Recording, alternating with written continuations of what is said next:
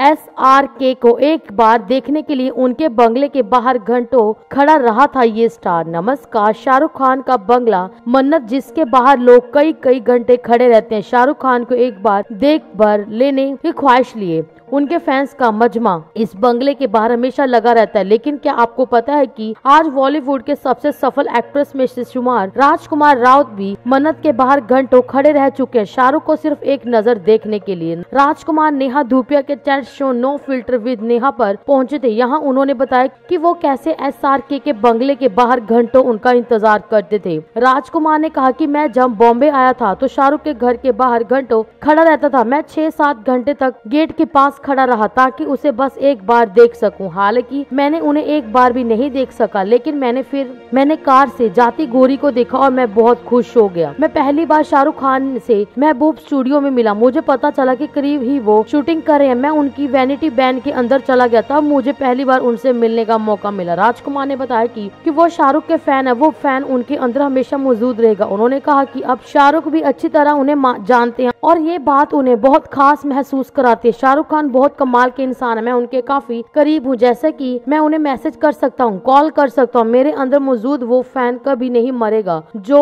वो जब भी मुझे कॉल करते हैं वो मुझे बहुत अच्छा लगता है। मुझे मेरे आइडल शाहरुख खान के साथ परफॉर्म करने का मौका मिला। मैं आपसे बहुत प्यार कर, सर, हर किसी को अपने सपनों में यकीन करना चाहिए और उनके लिए जीत तोड़ मेहनत करनी चाहिए, क्योंकि सपने सच होते हैं। शाहरुख खान और राजकुमार राव ने अभी तक किसी फ़िल्म में साथ काम नहीं किया। राजकुमार राव की फ़िल्म मेड इन चाइना 25 अक्टूबर को रिलीज़ हो चुकी है।